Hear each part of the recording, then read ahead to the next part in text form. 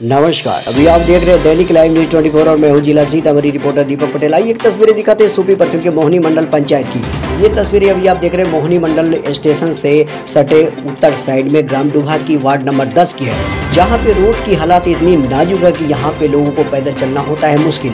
पर यहाँ के प्रतिनिधि इस पर ध्यान नहीं देते हैं। बिहार में बताते चले, शायद कोई ऐसा ग्राम, ऐसा पंचायत वंचित है जहाँ पे रोड की हालात नाजुक है।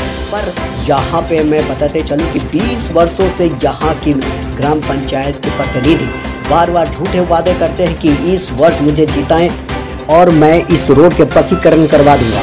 बस ऐसे ही कह करके ठगे जाते हैं जनता और हर बार उनको वोट किया करते हैं, लेकिन इस बार जनता भी आक्रोश में है।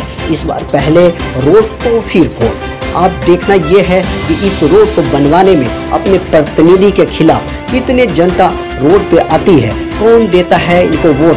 देखना ये है कि हमारे पंचायत अपने खुद को विकास करवाना चाहते हैं या फिर अपनी कीमती वोट उनको यूँ ही दान करेंगे।